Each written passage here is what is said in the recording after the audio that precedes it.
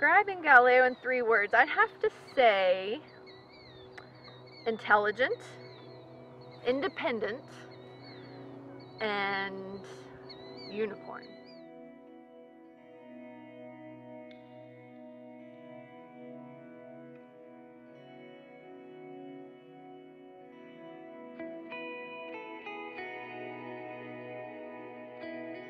I also wish that people knew that you know, I'm I'm in a way just like them.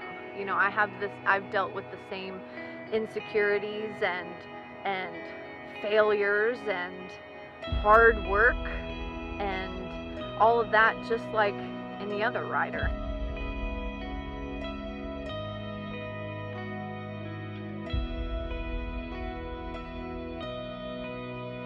I started riding when I was about seven years old, only because I realized that unicorns didn't exist.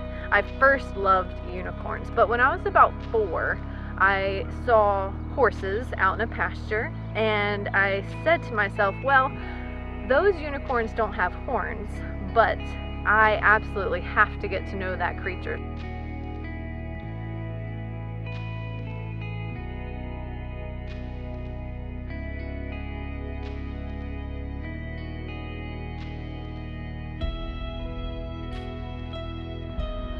Hi, I'm Deanna Corby with Deanna Corby Dressage. I'm a dressage trainer, instructor, competition judge, and USDF bronze medalist. I've wanted to be a trainer basically my whole life. I wanted to find a career that I could have working with horses, and being a trainer just kind of made sense.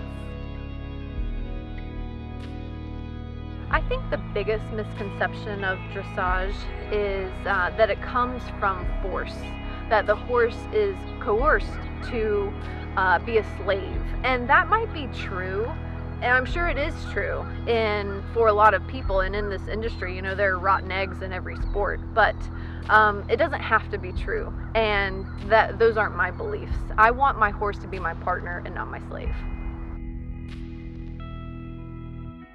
The most essential part in training a young horse is um, to not rush, to go slow.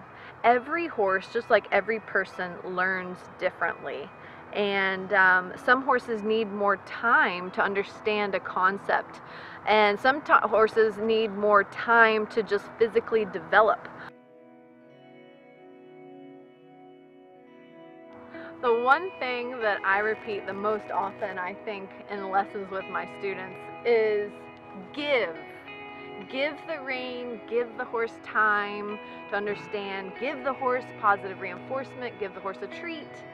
But that's that's probably the one thing I repeat the most, the word give. The thing that I am the most proud of as a rider and a trainer is that my horses are, you know, schooling the upper levels, but they live outside all the time. Like all the time. I never have the need to bring my horse in a stall unless maybe I'm dealing with an injury or something like that.